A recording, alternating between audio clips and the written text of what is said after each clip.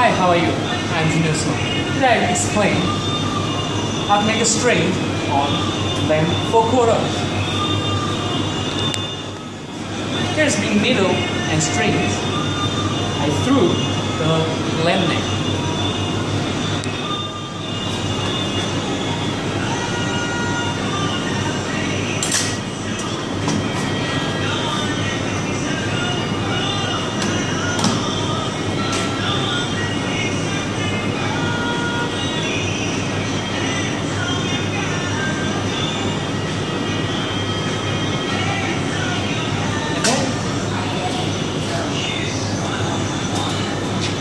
Thank you for watching.